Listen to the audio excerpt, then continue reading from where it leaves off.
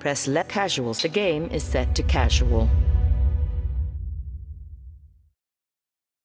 The king is dead. It was not a hero's death. It was the slow death of an old man. But it gave him time to plot and fuss about his affairs. Enough time, in fact, to spare a rare thought towards his second born.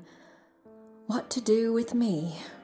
The blind girl he hid away in the keep. Would I be allowed to stand at my brother's side as he took his place on the throne? No.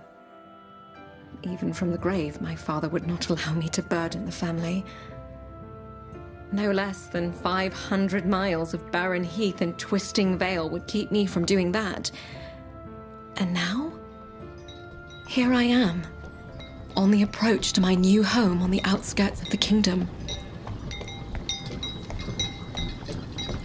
Hear a river. Where are we, Uncle? We're crossing now. You, Alex, are officially home. Describe it for me.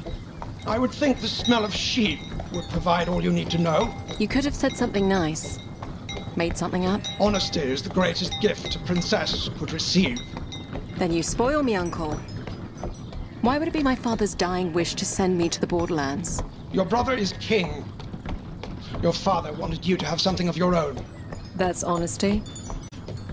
Even in death, father wanted his sightless daughter. Pause menu. Push down on the